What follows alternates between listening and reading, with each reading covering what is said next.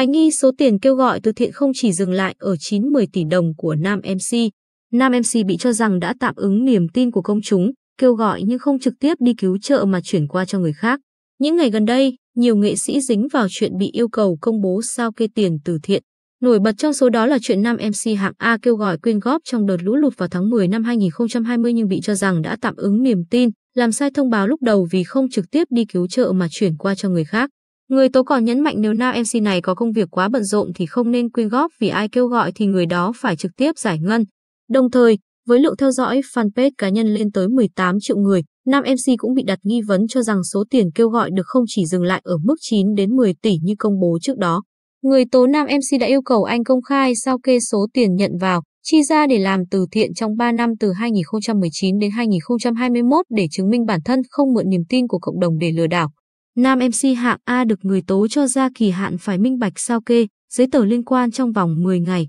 Một nam MC bị déo tên yêu cầu sao kê tiền từ thiện, hoài nghi số tiền quyên góp được không chỉ dừng lại ở 8-9 tỷ đồng. Được biết, MC hạng A đình đám này đã kêu gọi được số tiền hơn 8,7 tỷ đồng trong đợt từ mạnh thường quân trong đợt cứu trợ miền Trung vào tháng 10 năm 2020. Thời điểm đó, anh thông báo do không thể trực tiếp đến tâm lũ để giúp đỡ bà con nên chuyển số tiền kêu gọi được cho ba nguồn uy tín. Một trong ba người được tín nhiệm là nữ ca sĩ hạng A lúc đó đang mặt ở miền Trung để cứu trợ. Cô này cũng tự đứng ra kêu gọi số tiền hơn 177 tỷ đồng.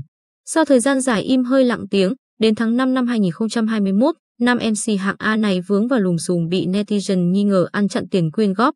Lúc này, anh viết tâm thư lên tiếng trần tình và cho biết số tiền cụ thể đã nhận được từ các mạnh thường quân là 9,45 tỷ đồng chứ không phải 8,7 tỷ như công bố trước đó.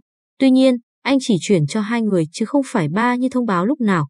Nói về lý do không gửi tiền cho nữ ca sĩ đình đám, nam MC này cho biết đã liên lạc nhưng không nhận được phản hồi vì tình thế cấp bách nên gửi sang người khác. Như vậy, số tiền 9,45 tỷ đồng, nam MC này đã chuyển vào tài khoản của một người đồng nghiệp nổi tiếng hết 3 tỷ đồng, còn lại 6,45 tỷ đồng thì gửi đến mẹ một người bạn thân. Cô bạn thân của nam MC này cũng rất thường xuyên làm từ thiện, thời điểm này cô đang chăm con nhỏ nên mẹ ruột đã đại diện đến miền Trung để cứu trợ. Tất cả những giao dịch giải ngân, bằng chứng cụ thể đã được nam MC hạng A công bố đầy đủ trên trang cá nhân. Các bạn nhớ đăng ký kênh và bật chuông thông báo để nhận được video mới sớm nhất nhé.